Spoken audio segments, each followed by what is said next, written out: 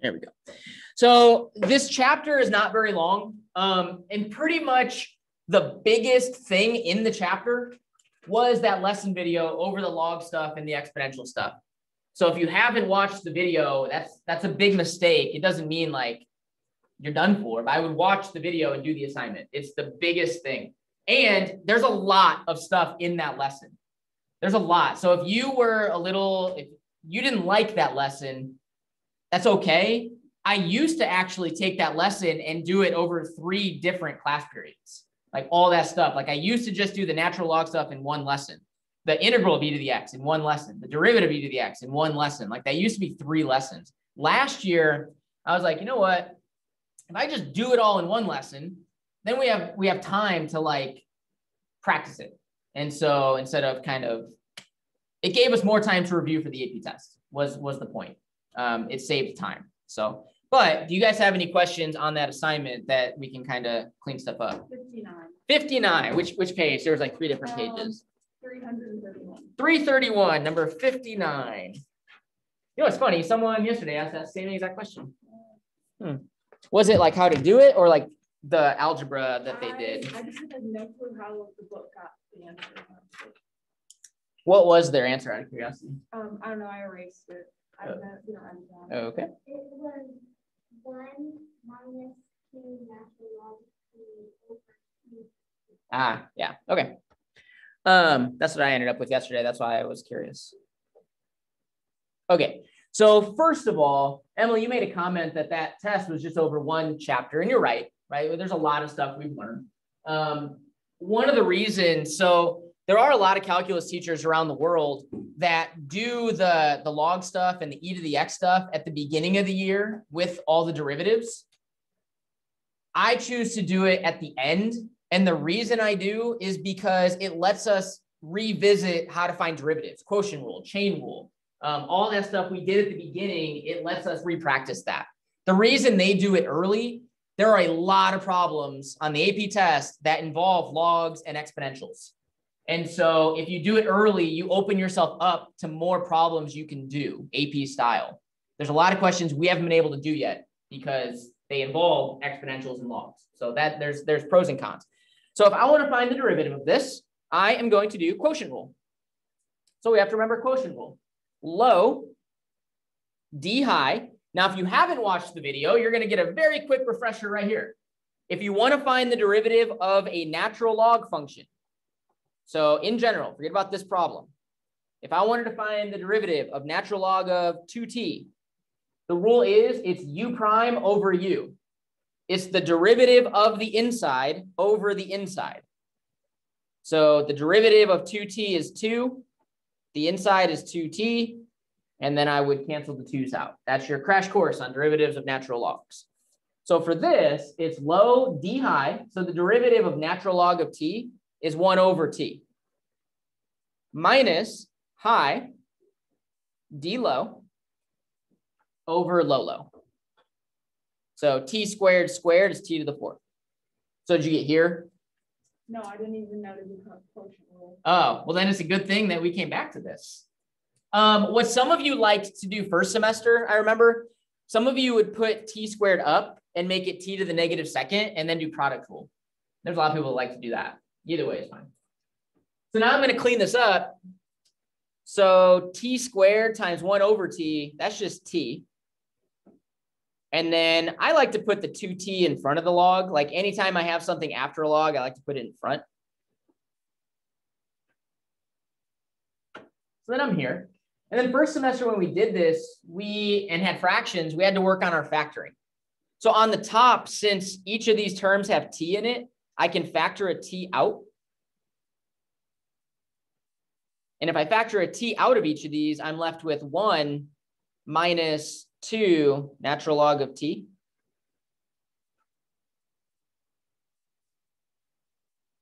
And then you can cancel a t out from the top and the bottom here.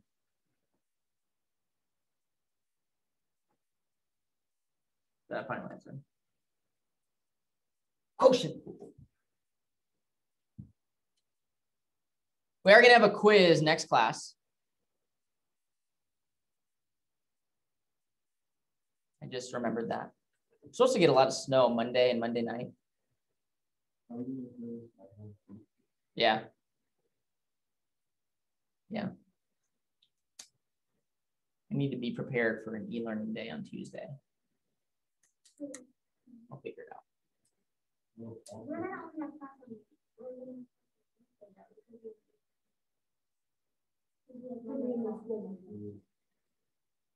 I wonder if I don't have. Oh, maybe I'm just having you do it on the e-learning day. What do I have planned on my calendar?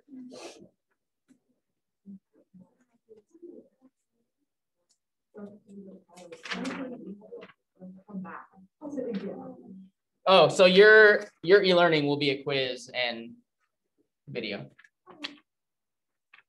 Yeah. So yes, you'll do it at home as e-learning. What else on here? Yeah. Um, nineteen, this is the one, two, three, seven, Well, I think it's first. 340, number 19. Oh, I wish they would have asked this one yesterday. Okay, so here, here's the thing. I want to make sure I kind of talk about this holistically. If you guys have a fraction, okay, so this is this is important here. If you guys see a fraction that you are going to integrate, there's going to be several different ways of going about it. The first thing I would think about is u substitution. Now, here's how you know if you'll be doing u substitution. You're only ever going to have u be the denominator. Okay, I'll start with that. You will only ever have u be the denominator. And the way you know if it's u substitution, here's what I ask myself. I'm like, if I, so look at number eight, for instance, or seven, either way, look at seven. If I have u be x squared minus three, the derivative of that is 2x, emphasis on the x, and x shows up in the numerator. Basically, if u is the denominator, make sure its derivative shows up in the numerator in terms of like variables and exponents. So five, same thing. That's what I mean in terms of exponents. So on five, I would have u be 2x plus 5. Its derivative is 2. Now, if there was an x on top, that's what I'm going to talk about next. Okay. So, so first and foremost, if like look at 8, if u is 5 minus x cubed, its derivative is negative 3x squared, emphasis on the x squared, which shows up up here. That's how you know you're doing u substitution. If, if u is the denominator and its derivative shows up in the numerator or some form of it, in terms of x's and the exponents, that's how you know to do u substitution. The other thing that could happen is this. I've never seen this show up on an AP test, but it is in the standards and they said it could show up. If the degree of the top is bigger or the same as what's on bottom. Let me say this again. So I'm trying to see if there's one where it's the same. I don't see one. I wish it, I wish it was. At any rate, is there one over on the other side? Oh, yeah. So I'm 58. If the degree of the top and the bottom are the same, or if the top is bigger, we actually have to do long division. You guys remember doing long division? Maybe after I show one. So, so again, I've never seen it show up, but it is on the standards and it is something that could be an integration strategy on the AP test. So anytime the degree of the top and bottom are the same, or if the top is bigger, we have to do long division to, to break it down. So your what was your question on 19? Yeah. Okay, so if I do 19, so I'm glad you asked about this problem. How did they not ask about this yesterday? Yeah. Well, 11 is easier because 11, you don't have to actually do long division. You can just divide each term by x and split it up into two separate things. But 19 is tougher.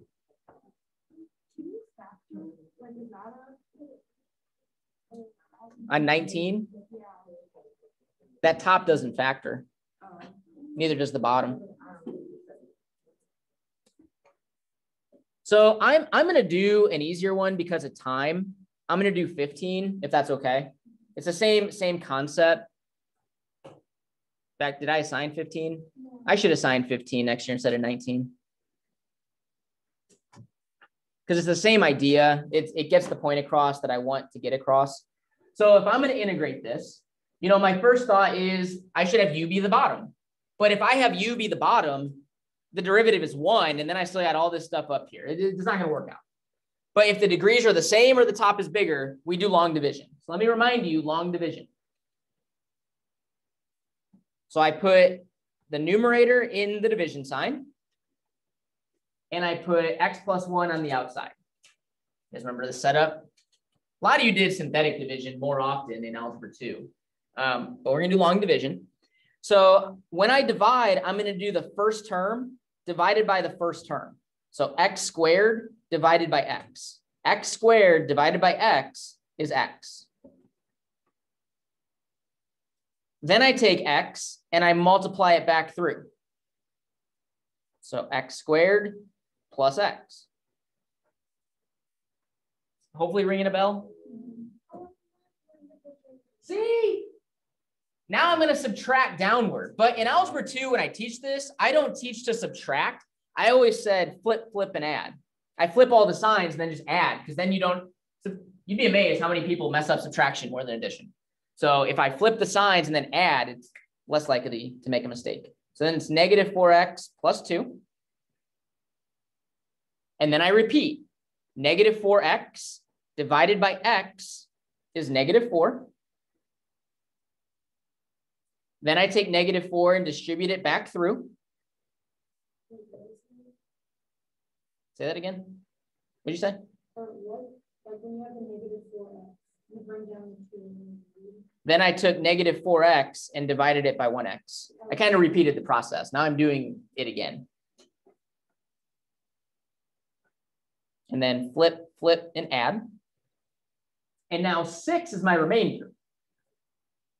So I have x minus 4. And then the way you write remainder, you put plus 6 over x plus 1. That you guys remember doing that?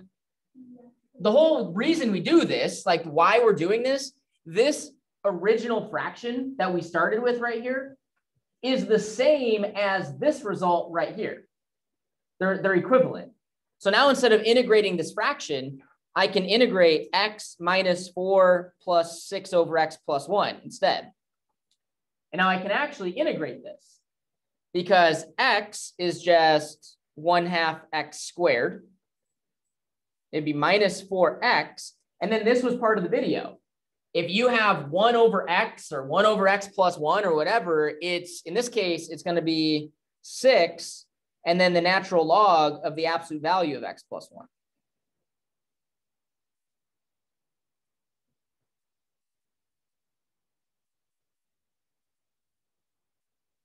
Again, I've never seen it show up, but it is in the standards. I forgot I assigned that that problem. So I wish they would have said something yesterday about it. Oh well. Too late. Maybe it'll come up again at some point. It won't. All right. I want to get, if you do have other questions, shoot me an email and I'll be able to answer any homework questions on this stuff. I know it was a lot. I know I didn't get into the E stuff or anything like that, but just please make sure you guys are asking on that assignment. That we do not have a lot to learn in this chapter. That is the big thing to learn. We do have some other stuff. We have some stuff today, but that's that's the big one. Okay. All right. So we don't have a lot of lessons left. We only have like six lessons left, seven lessons left, something like that. Not a lot more to learn. Okay.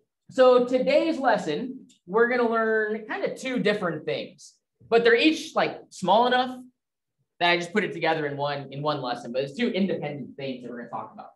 The first thing we're going to talk about is the relationship between derivatives of inverse functions. So in algebra two, and I always reference algebra two because I teach it, so I know what's taught there. I don't know pre-cal they, what they do in pre-cal. Did you guys get in, did you do inverse functions in pre-cal? You don't remember?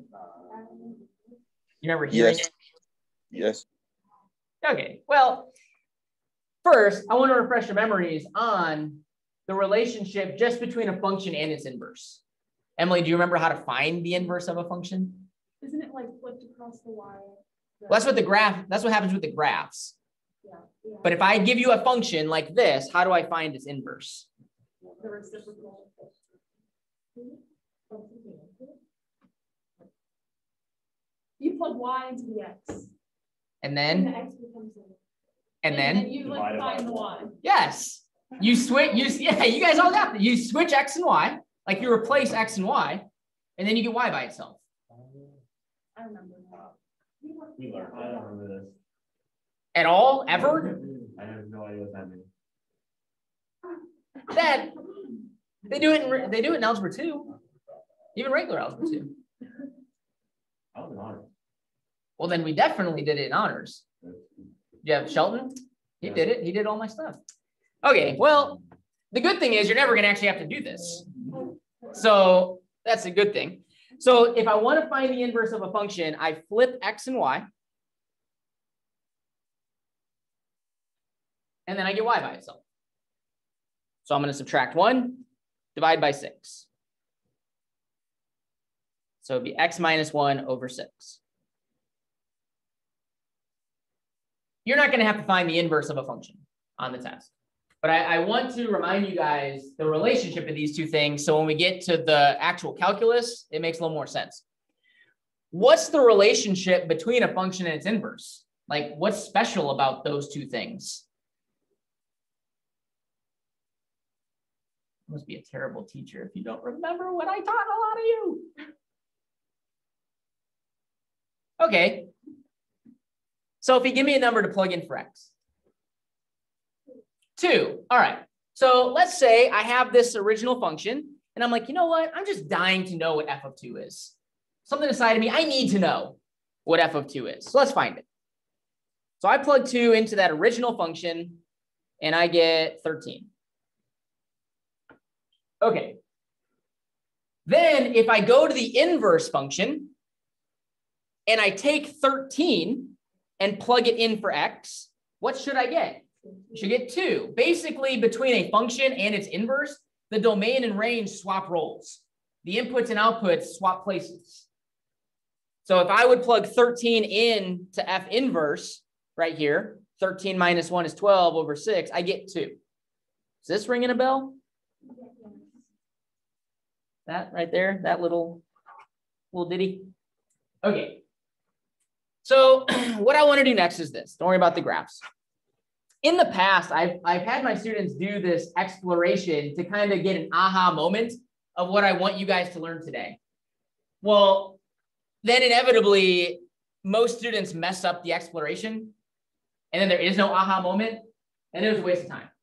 So I'm going to do the exploration to kind of show you guys the one thing that I want you to learn between derivatives of inverse functions. So I'm going to show you this exploration, and I'm going to kind of do it for you. Okay, you okay with that? All right. All right. So here's what the exploration says. It says you have two functions that are inverses of one another. F and G are inverses of one another. Okay. Then it says find the slopes of F at three different ordered pairs and find the slopes of G at these three ordered pairs. And look at how the ordered pairs change. So on F, we're looking at 2, 8. On G, we're looking at 8, 2. On F, it's 327, and on G, it's 27, 3. The X and Y's are flipping, okay? So I'm gonna kind of walk through this. So it tells us F and G are inverses. It says F is X cubed, and it says G is X to the one third. And then it says find the slopes at several points. Well, if it says find the slopes, that's derivative. We know that as derivative. It wants us to find f prime at those places and g prime at those places. So the first thing we have to find is f prime and g prime.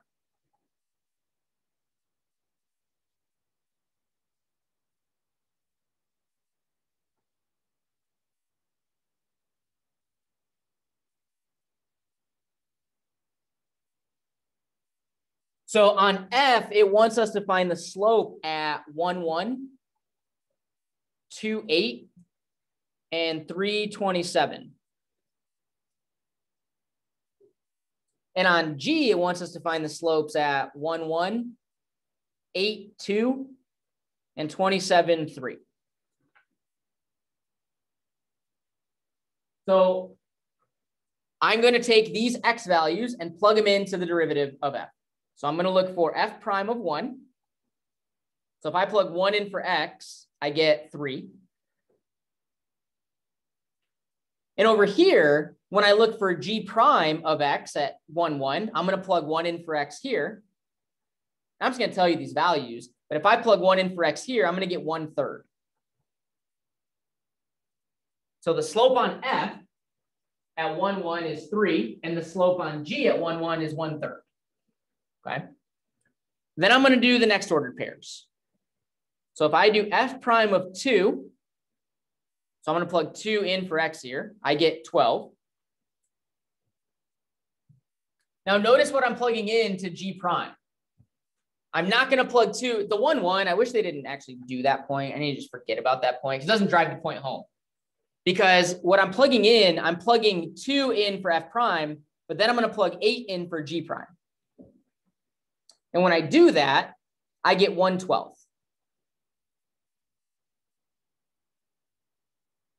And maybe you can see where we're going with this. Then I'm going to plug 3 in for f prime. So 27. Mr. Walker, if you had to make a prediction on what g prime of 27 is, what would you predict?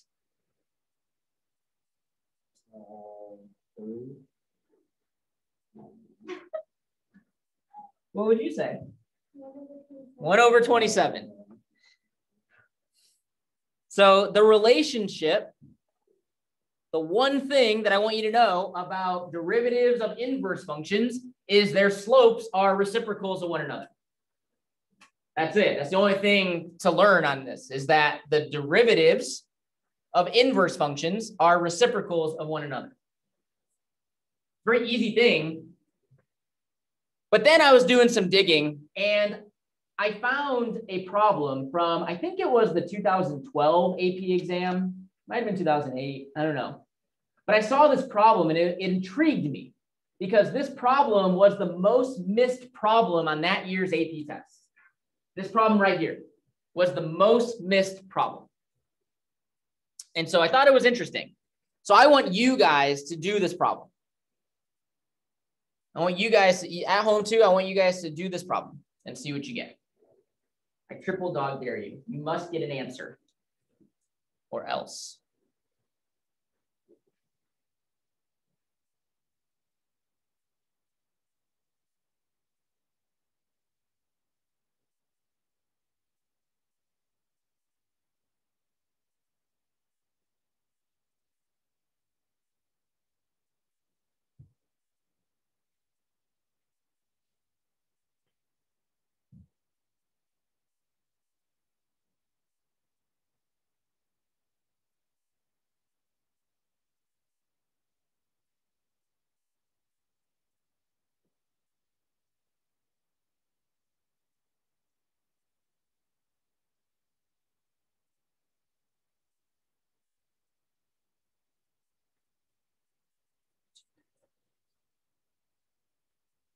There's 12 of you in here, and you're all going to tell me your answer. So you have to get an answer, and you're going to have to tell me an answer, whether it's right or not. You have to tell me why? No. No. You just have a one in five chance. To sweeten the deal, I'm going to have you all put your heads down, and you're going to vote that way. Yeah. That way you can't see like you know, if I say D and like eight people raise their hand, then you're like, my God, D. You will not know. You guys ready?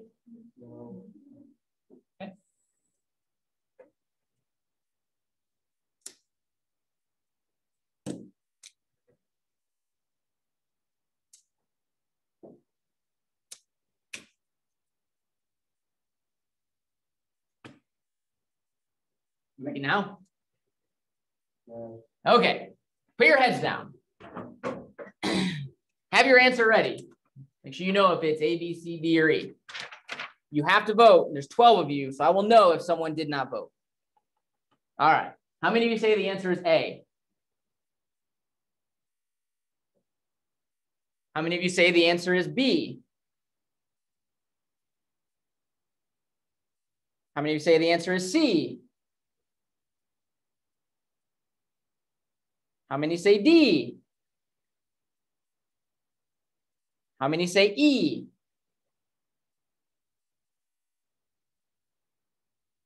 All right, heads up.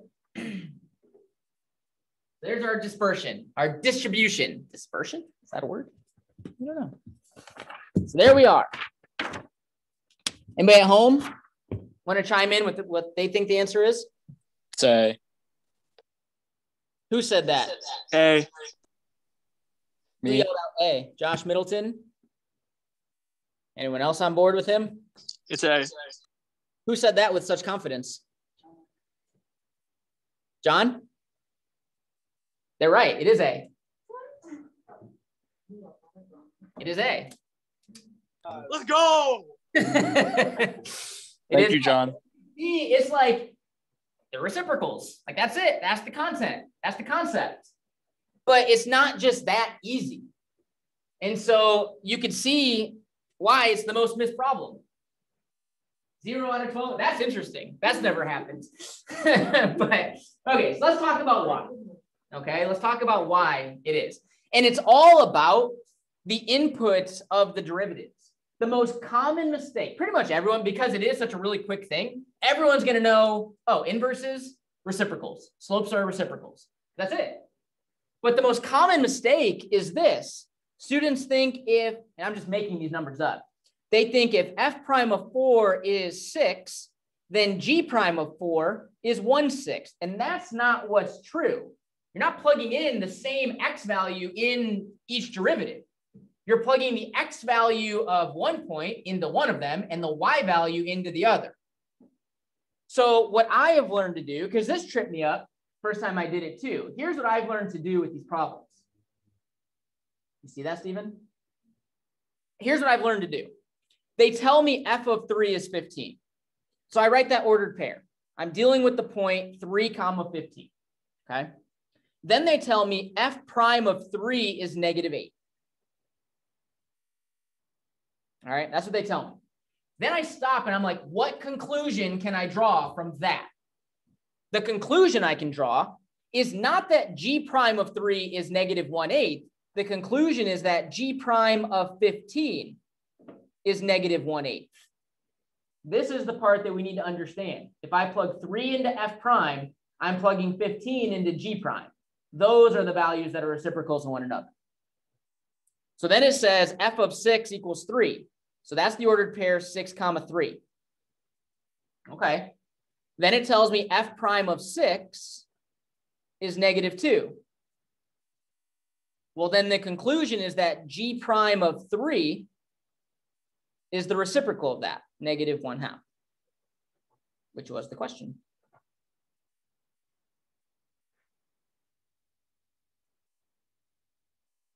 Good stuff? So it's a real quick concept, but it can be tricky. Good job, those of you that went out on a limb and said, that was confidence.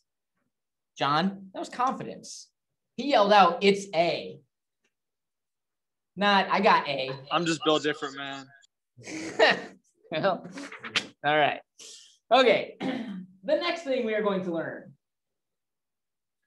So I, I'm going to do kind of a lot of uh, kind of like with this, like this stuff of finding inverses. You're not going to have to find inverse functions. That's not a thing you're going to have to do. But I wanted to, you know, hit the point home on the in, the domain and range swap roles, and that's why we're plugging in the x for one and the y for the other. That was kind of all the lead up.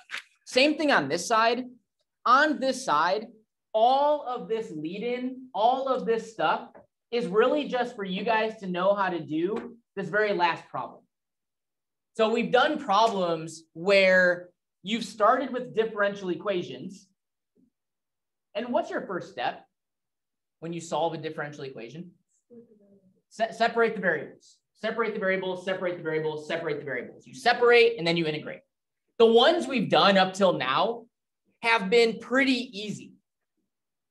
Like it's been pretty easy to see, oh, we just move the dx over to the other side and then we integrate.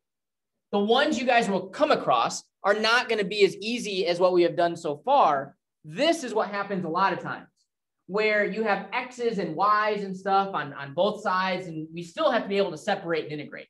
All right. But the lead in stuff is going to teach us kind of how to do that problem.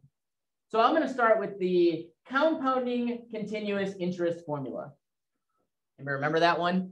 Your interest compounds continuously. It's PERT. It's the PERT formula. Your, your interest is your principal times e to the RT. That's your PERT formula. Remember that?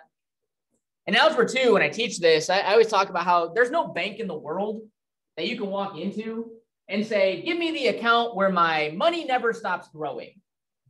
I want it to just compound continuously. It's not a thing. And so inevitably students are like, well, then why do we learn it and why do you teach it if it's not if it's not a thing, which I completely understand. It's because students' brains understand money. But what it really leads into is just the general growth and decay formula, which is this. These formulas are the exact same. Every textbook uses a little different variable for that front letter. In fact, in Algebra 2, I probably need to change this.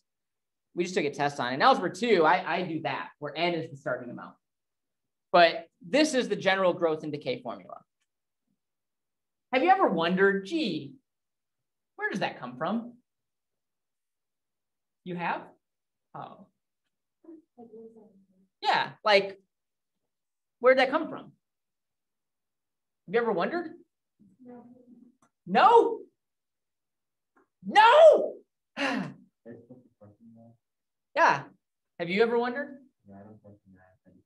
Oh man, that's that's the worst. It's not fun. What if I knew nothing and I've been teaching you all this wrong? Like, what if I'm just some bum off the street that started talking letters and numbers and it's all incorrect? You would never know. all right. Well, I'm going to teach you where this formula comes from. Okay. In doing it and, and showing you where this comes from, it's me kind of showing you how to do this type of problem down here at the bottom. So are you going to have to know where this comes from? No, but it, it's kind of my lead in. So first of all, remember what it means for things to be directly proportional. That means as one thing goes up, the other thing goes up. Okay, that's what it means to be directly proportional. And if they say y is directly proportional to x, well, that means that y equals some k value that I don't know times x, some k, which I don't know what it is, but times x. That's I know that's true. Okay. Well, the next statement says if the rate of change of y with respect to time is directly proportional to y, then, well, a couple things. We have to know how to notate this. How do we notate the rate of change of y with respect to time? Like how do we write that? Huh? The rate of change of y with respect to time. Oh, we gotta know how to write this. Kids are killing me. Anybody at home know how we write the rate of change of y with respect to time? John? dy dt. Yeah, dy dt. That's the rate of change of y with respect to time. It says the rate of change of y with respect to time is directly proportional to y. So this equals some k value times y. Well, think about what that means. The rate of change of y with respect to time is directly proportional to y itself. Basically, what this is saying, I like to associate this with like a, a bunny rabbit population, where you start with two bunnies, they interact, and then there's more bunnies, right? Now there's more bunnies. They're all interacting, and now there's more bunnies. They interact, and then there's more bunnies. So basically, as the bunny population is growing, the rate at which that population is growing is also getting bigger. It's growing faster. The more bunnies there are, the quicker the bunny population grows. That makes sense? That's what this is saying. Okay. As the population gets bigger, the population grows faster. Well, let's solve this differential equation. What it means to solve a differential equation, it means we're trying to undo this derivative. And to undo a derivative, we integrate. But when you solve a differential equation, remember, as soon as you put, if you put the integral symbol right here, you immediately lose all your credit. Step one, you have to separate your variables. When you're solving a differential equation, separate the variables, separate the variables, separate the variables. Now, up till now, it's been pretty easy to see how to separate. This one's a little tougher. So here's how we separate. I need to get this y right here on the left side with the dy. And even though there's no t's on the right side, I still need to move this dt over to the right side. So I'm moving the dt to the right side and I'm dividing both sides by y. K is just a constant. K, K is not a variable in the problem. K is a number. So that's why it's not a variable. So it's going to look like this. 1 over y dy equals k dt. So that was, that's worth a point. On your AP test, when you're solving a differential equation, just doing that is a point. Now we're going to integrate both sides. We're going to integrate the left side and integrate the right side. And this is where the lesson video comes into play. When we integrate 1 over y, that's the natural log of the absolute value of y for those of you that didn't watch the video. Be careful with that. Kind of a little side note. If I said integrate 1 over y squared, we would not do natural logs. We would rewrite this as y to the negative second and do our normal power rule like we know how to do. So be careful with that. On the right side, when you integrate a constant like k with respect to t, that's just kt. It just adds the t on the end plus c.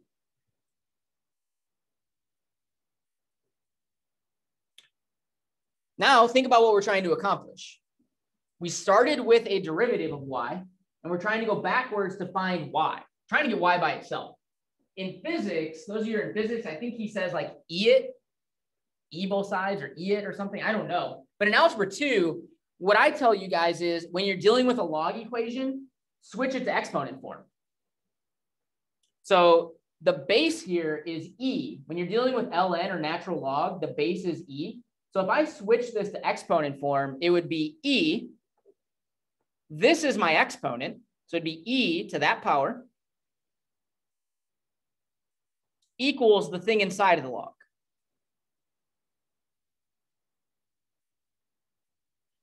At this point, the reason the absolute value can go away is because any exponential function with a positive base, which is what I have here on the left side, this left side will never be negative. There's nothing you can raise e to to get a negative value. It's impossible. So you could drop the absolute value because this will always be positive no matter what. Well, Stephen, I promised you I was going to show you where this formula comes from. Almost. Because these look very similar. But this does not look exactly like this. So I need to show you guys one little manipulation here at the end. This is kind of where some students don't follow. So I'm to try to do this slowly. But if I take e to the kt plus c, this expression right here is the same as e to the kt times e to the c. I want to stop and explain that. And you all know that, but you all know it in the reverse way. In algebra one and algebra two, you're always asked to multiply two things with the same base. So you keep the base and then you add the exponents, right? If I multiply these two things, I would keep the E and then I would add KT and C together. So you all know how to go in this direction, but it works in both directions. Well, think about what C is. C is some arbitrary constant, some arbitrary number that we don't know. So what is E to the C power? Some arbitrary constant that we don't know. So we can just replace this whole thing here with C, a different arbitrary constant. And then if we just put it out in front, there's where that formula comes from. Basically, that formula stems from any time you have a rate of change of a population growing as the population grows. This formula generates. That you don't need to know so much. What you do need to know is getting from here to here, like knowing how to separate, knowing how to integrate, knowing how to manipulate with the natural log. That's kind of the skill. So we're going to do this very last one. We're going to skip the fruit flies. Side note, I was teaching summer school here a few years ago, and all my kids, they it was uh, Fourth of July weekend. So on the Friday, they threw all their garbage away in the trash can. My room wasn't on the summer school cleaning list for some reason. So we came back after a three day weekend and they had all bananas and apple cores and stuff in the trash can. And I walked into the room and fruit flies were just everywhere in the room, swarmed the room. It was a different room than this one, but I had a new class in the library that day. I don't know what they ended up doing. I don't know if they just die. I don't know. Anyway, fun day. So we're going to do this differential equation. This is what you guys are going to come across. These types of differential equations, okay? Step number one, when you're solving a differential equation, separate the variables, separate the variables, separate the variables, and oh yeah, separate the variables. So I'm going to move dx to the right side, and I'm going to divide both sides by y minus 1. I'm moving all the x's to one side, all the y's to the other. So it's going to be 1 over y minus 1 dy equals x squared dx. These types of problems, you know, I mentioned how on an FRQ, you're trying to get to five or six points. When the, when a type, when a problem like this is one of the parts of the problem, they're generally five points of the entire FRQ. You get a point for separating. You get a point for each integral. That's three. You get a point for finding the C value. And then you get a point for plugging the C value in and solving correctly. Like these are very important problems to know how to do. So I separated. Now I'm going to integrate. When I integrate 1 over y minus 1, that's natural log of the absolute value of y minus 1. I don't have a lot of room, so I'm going to do this on another sheet. On the right side, we get 1 third x cubed plus c. If you don't, so there's always a note on the rubrics. If you don't put plus c here, it says the max you can get is two out of five points on the problem. Because then you technically didn't integrate the right side correctly. So you don't get that point. You're not going to be able to find c correctly, and then you can't get the answer right. So you can get two out of five points. At this point, you guys have two options. I'm going to show you both ways. So when we've solved these so far, my advice to you has been plug in your point right now to find the C value. And you can, it's not wrong. Like at this point in time, you can plug in zero for X and three for Y and find the C value. I, I'm going to show that way. I would not do it that way. Okay, I'm going to show you the other way first, the way I would do it. Then I'll show you that way. What I would do is kind of like what we did here. Before I do anything, I'm going to try to get y by itself. I'm going to try to manipulate this, do e to the right side equals y. I'm going to do this process before I plug my point in. So I'm going to do e to the 1 third x cubed plus c power equals y minus 1.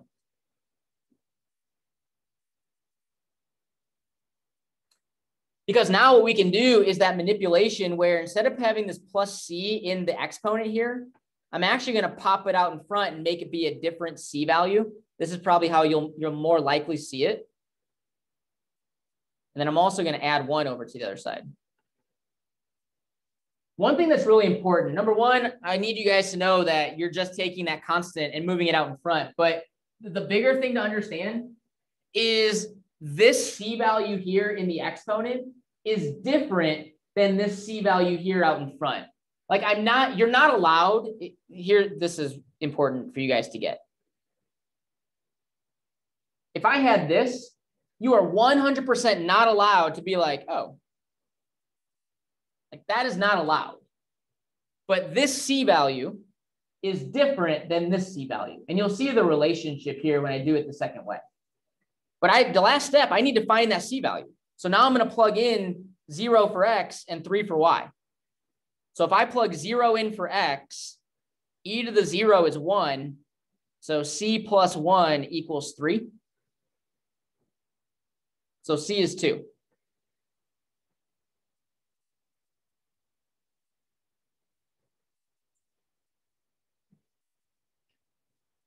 The reason I would do it this way, typically they're going to want that C value out in front because when you're dealing with with populations and stuff, like that's your initial population. When that number's out in front there, that's your initial value.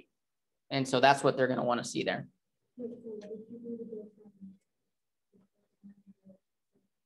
Here, I plugged in. So in the problem, it says um, when x equals zero, y equals three. So I plugged in zero for x and three for y. And when you plug zero in for x, that e to the zero becomes one, so it goes away. You just have c left there. the other way to do it, which I, I want to make sure I show because there are going to be people that are likely to do it the other way. The other way to do it is after you integrate, so I'm going to go back to that step. After you integrate, some people are going to plug in zero and three here, which is fine. It's not wrong. So if I do that, if I plug three in for y, I would get natural log of two and then equals c. So notice I got a different c value. That, that's okay because here's what happens. So now if I plug natural log of two in for c here, look at what happens.